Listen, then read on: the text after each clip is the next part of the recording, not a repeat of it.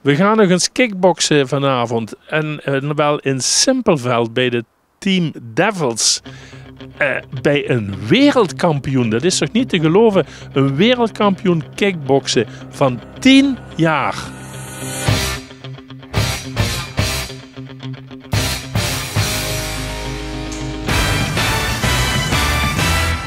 Selina Kousler is uh, de eigenaresse van de, van de uh, kickboxschool.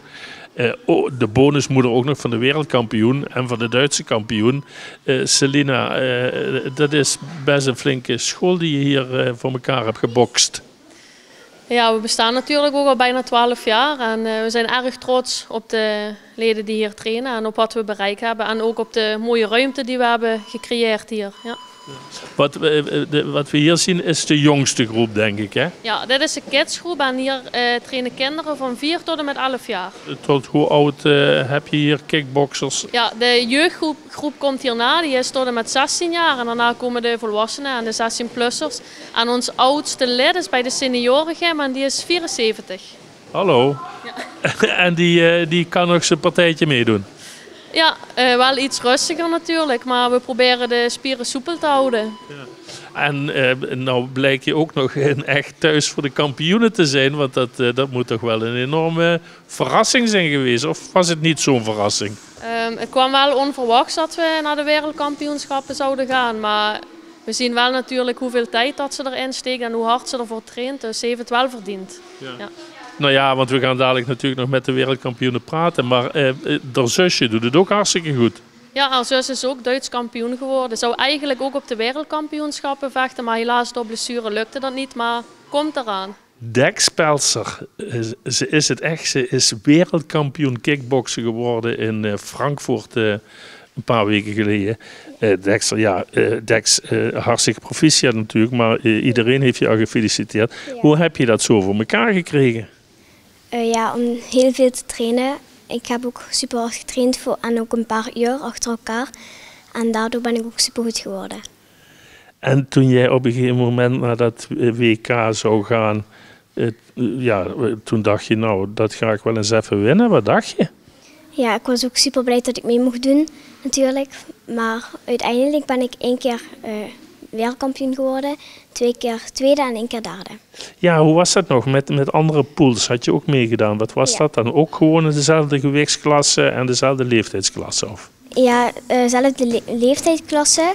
Maar ik heb één, twee keer min 30, één keer plus 35 en één keer plus 40. Ja. En eh, nou ja, nu ben je wereldkampioen en nou uh, word je natuurlijk heel erg rijk. Ja, dat nog niet. nee, want je hebt nog een, een andere bijverdienst ook gevonden. Je bent carnavalsartiest ga je worden. Ja. En uh, dan ga je eerdaags ga je daar uh, mee, mee optreden. Ja, bij de Slagerarena. Bij de Slagerarena. Ja. Vanuit Simpelveld ga je daar een Bochels? Wat heb je daar een Bochels aan te zoeken? Ja, daar wonen we. Dus. dat is ook prima. Hey, uh, want een liedje, ik heb begrepen van, eh, van uh, de grote carnavalsartiest Danny Pauls, die, die is je daarbij aan het helpen. Ja, dat klopt. Ja. Toen las ik ook nog iets, want je hebt natuurlijk al overal in alle kranten en overal je al geweest. Ja. toen las ik ook nog iets over steppen. Ja, ik doe stuntstappen. Stuntstappen, leg ons dat eens uit. Ja, ik doe vaker in de Heerlen bij de promus stappen. En uh, ik heb ook al eens een keer een, een wedstrijd daarmee gedaan. Uh, ook gewonnen natuurlijk? Nee, dat niet. Oké, okay. hey, um, uh, over het boksen, het kickboksen. je bent nog wereldkampioen, maar daar houdt het natuurlijk niet meer, op, niet meer op. Je gaat daarin verder, neem ik aan. Wanneer ja. zijn er weer grote wedstrijden? Volgens, volgens mij volgend jaar, maar dat weten we niet zeker.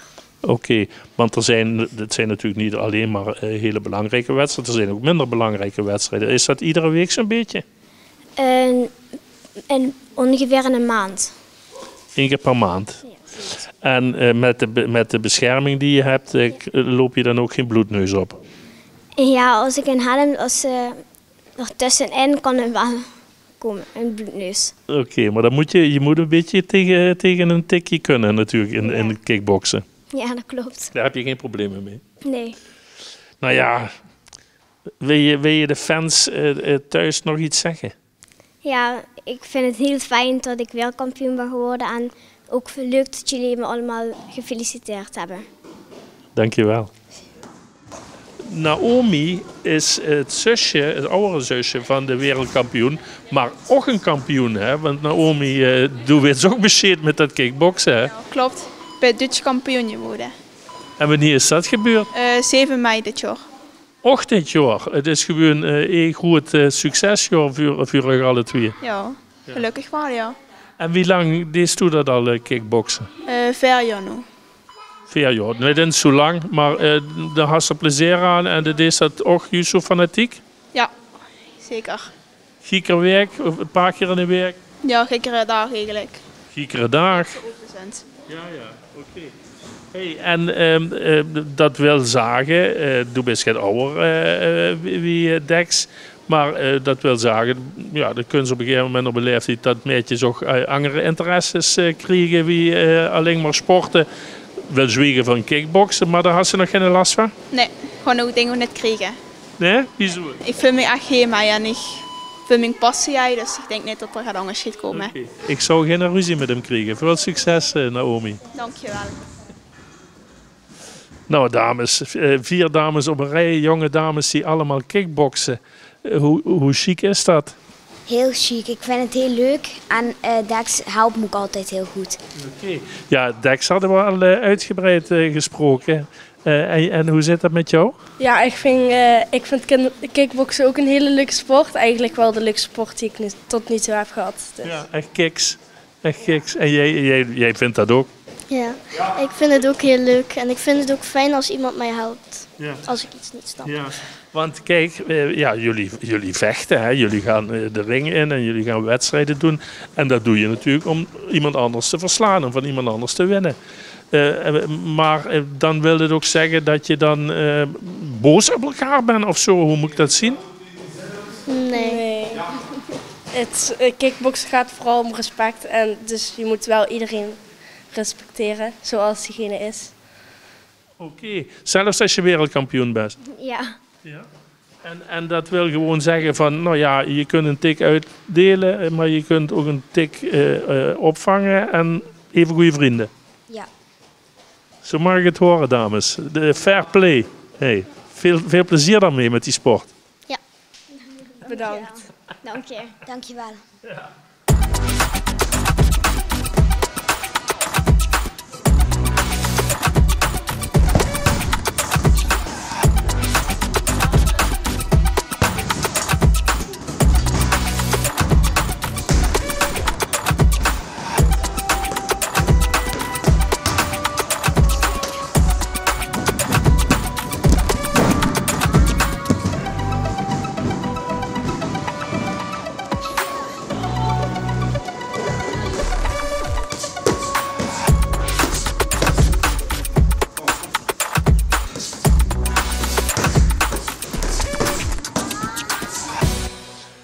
Bij eh, Team Devils eh, wordt niet alleen gekickboxd, je kunt daar ook eh, kung fu lessen volgen.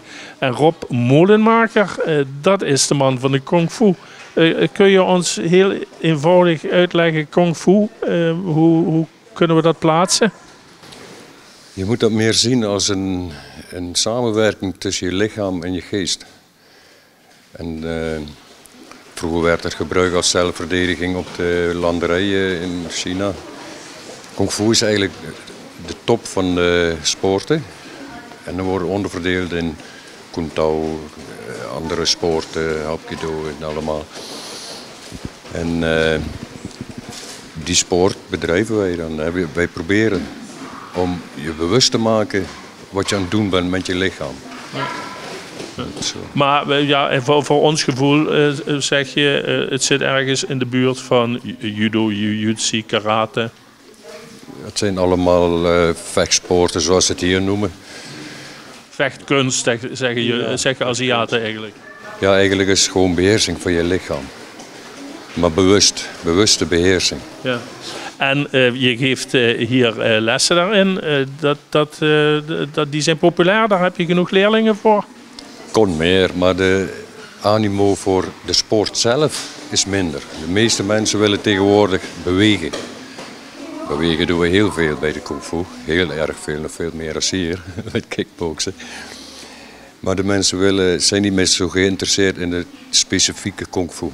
Oké. Ja. Dan is daar nog eh, eh, veel werk voor je weggelegd, eh, Rob. Ik zou zeggen, ga tekeer. Ja, ik doe dit al 50 jaar, dus eh, nee, ik heb genoeg eh, scholen gehad, genoeg leerlingen. Die zijn ook al eh, van klein af aan een groot eh, Ja, ja. eigen gezinnen gesticht en alles. En we hebben ons eh, met drie man samengezet en hebben een eigen stijl ontwikkeld. Ah, oké. En dat is de Sahabat eh Kung Fu. Succes eh, daarmee, Rob. Ja, dat zou wel lukken. Dank u wel.